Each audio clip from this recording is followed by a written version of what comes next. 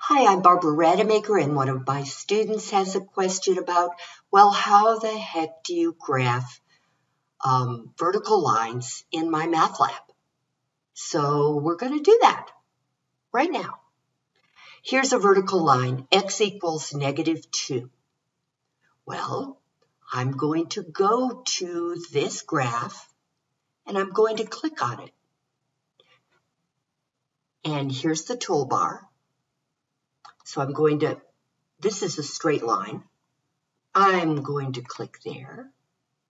And I'm going to go to x equals negative 2. And in the lower left-hand corner there, you can see what the point is. Now, I need two points to graph, don't I? So I am going to go up or down. It doesn't matter. I'm going to choose any old point I want. How about negative 2, 3. Or negative 2, negative 4. Or whoop, negative 2, 6. Notice that the y-coordinates can be anything, anything, any number I want, but x has to remain at negative 2. That's what x equals negative 2 is, a vertical line because x will always equal negative 2. So this is as good a point as any. I guess it's 5, uh, negative 2, 5. I'm going to click. And now I have graphed the line. Now I have to check my answer. That's always the, um, the yeah, that's the answer you have to wait for.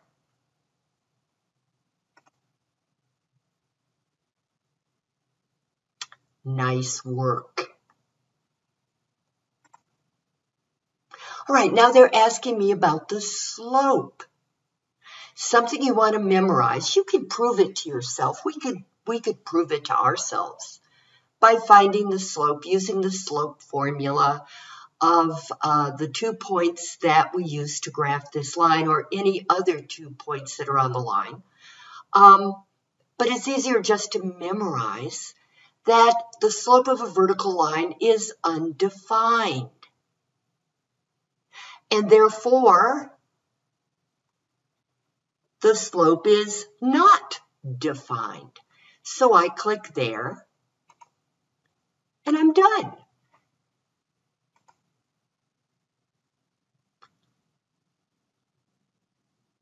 Good job.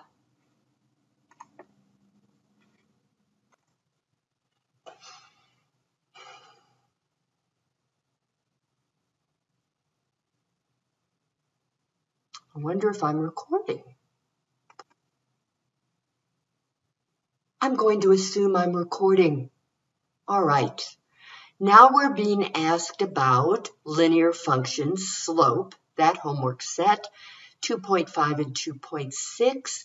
And basically it's the same question. We're going to be graphing vertical lines and we're going to be asked about the slope, probably. So let's see the way this goes. All right, x equals negative 4. I click I click here, anywhere. That makes the toolbar appear. I'm graphing a straight line, so I click on the graph, a straight line icon. And then x equals negative 4, so I click on x equals negative 4 and then another point in which x equals negative 4. How about negative 4, negative 8?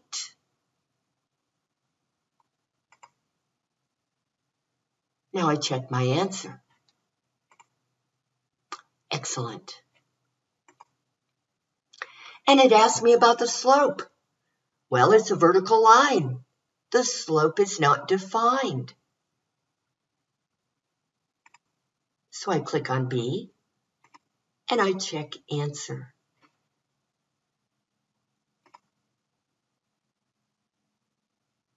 Okay, here's number 14. y equals 5. Now, what does this say? Well, Well, one, one thing it says is I'm going to click on y equals 5. So I click on the graph. That brings up the toolbar. I click on the uh, line icon. And then I go to y equals 5 and I click. Now, I need to go to another point where y equals 5. How about x equals 6? I mean, x equals 6, y equals 5. And I click there. This is a horizontal line. The form that a horizontal line takes is y equals a number. Now, what am I going to do here? I'm going to check answer. That's incorrect. Didn't I go to y equal? No, I didn't go to y equals 5. I went to y equals 3. What could we do? It's a crisis. No, it's not. I will just move these points up to y equals 5. It's not a crisis. Oh my goodness. I didn't even have to start over. Check answer. Well done. Woo for us. Now, what is the slope of a horizontal line? Zero. So I click on A, not B. It is defined. The number zero is a number. So I click on zero and then I check answer.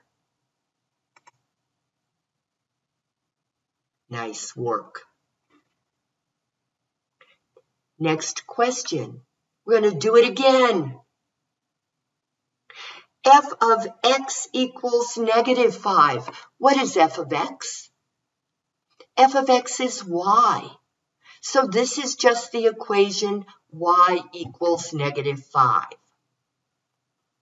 Okay, whatever. y equals negative 5, and we're going to get it right this time. Oh, right, I could click anywhere then I could click here.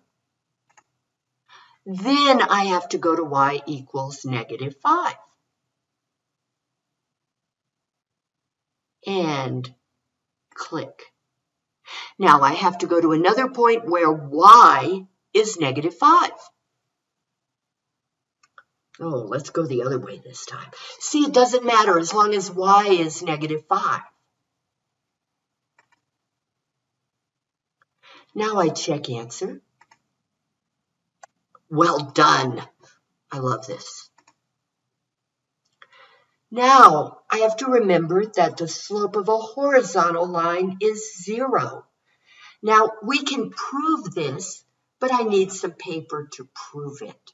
So I'm going to do that after I finish graphing.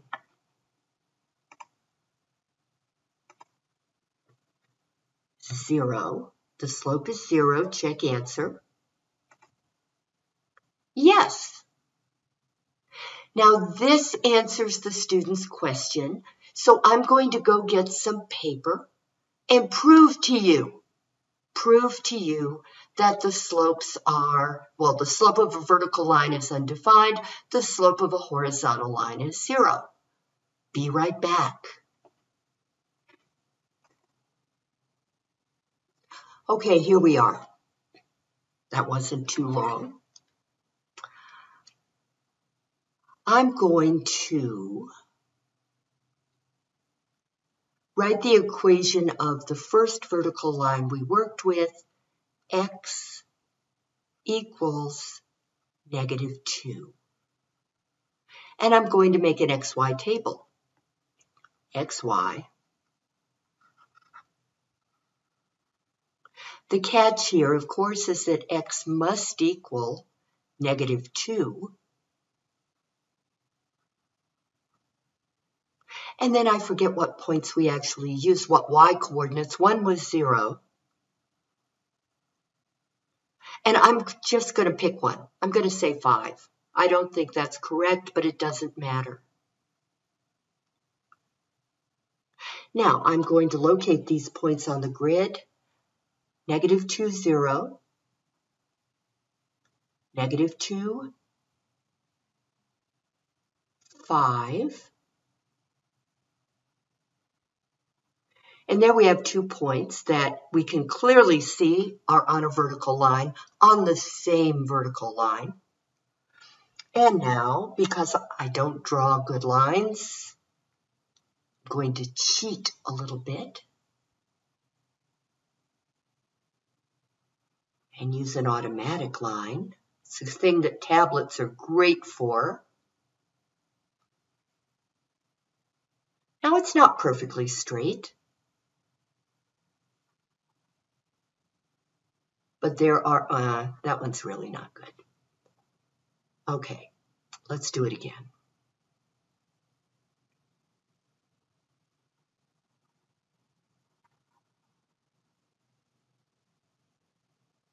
Okay, that'll do.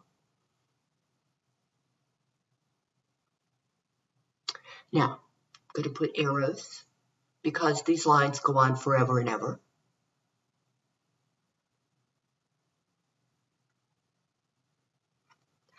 And what? Well, there's the graph. x equals negative 2. But how do I know what the slope is? Well, okay. Here are my two points, negative 2, 0, and negative 2, 5. I'm going to use the slope formula, m equals y 2 minus y 1 over x 2 minus x 1, which means I need an x1, y1 and an x2, y2. This is a point, and this is, excuse me, a point. How cool is that? So uh, I, it doesn't matter which I choose, but I'm going to let this be x1, y1. And I'm going to let this be x2, y2. And I'm going to come down here and say, hmm, y2 minus y1, 5 minus 0 over x2 negative 2 minus negative 1. Okay, now I'm going to increase the size there. I want you to see this. Oops, shouldn't have done that. Never mind.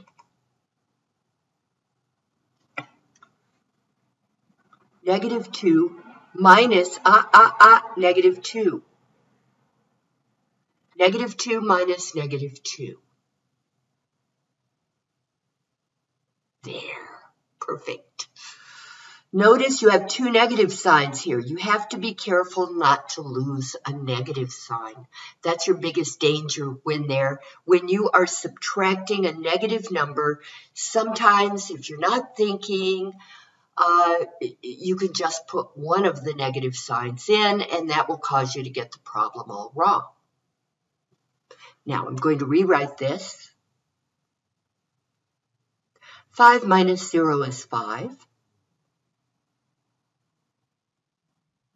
Negative 2 minus negative 2 is negative 2 plus 2 because negative times negative is positive.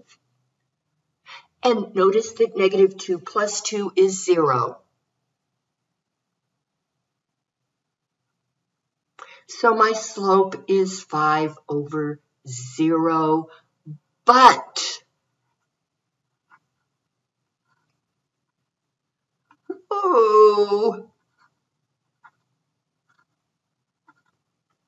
this number, because the denominator, the bottom, equals 0, is not defined. division by zero is not defined. So the slope is undefined. Let me write that down.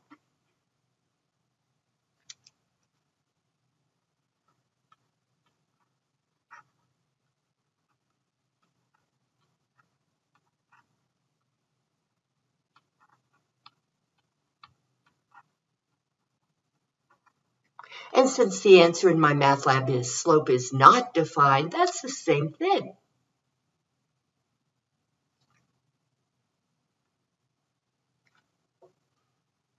That will always be true with vertical lines.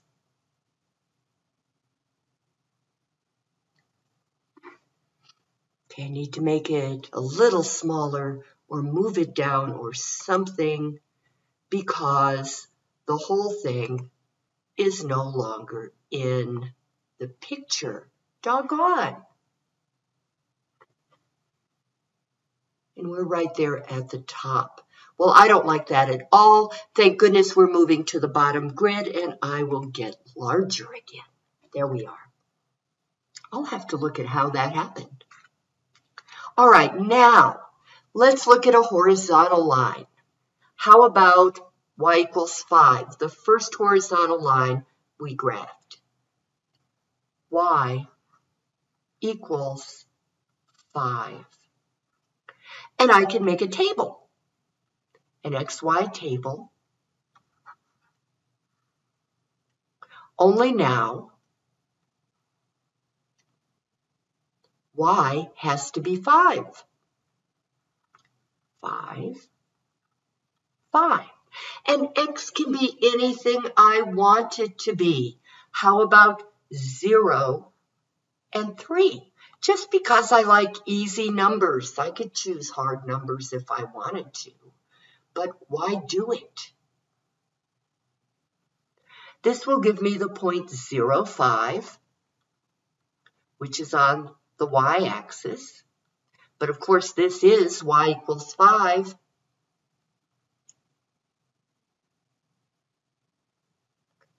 And this point is 3, 5. So, 0, 5, put it in the right place this time and one, two, three, five.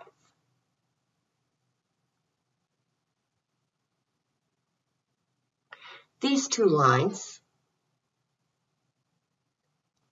are on the same horizontal line. Let's choose a different color this time. How about green?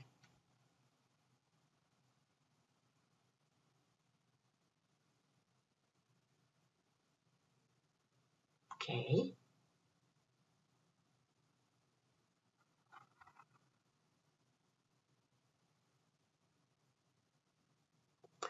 And then um, I'll make green arrows. You can't do this if you're graphing on MyMathLab. But I can do it because I'm doing it on paper. Okay, this is the line y equals 5. Let's find the slope.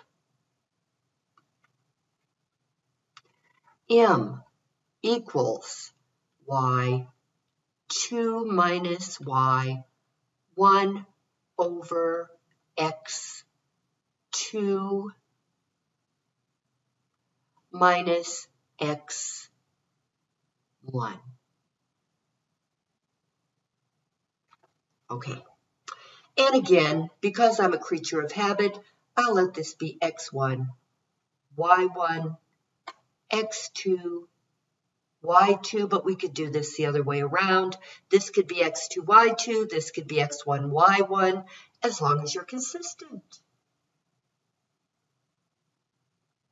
Okay, now, y2 minus y1, it's going to be 5 minus 5 over x2 minus x1, 3 minus 0.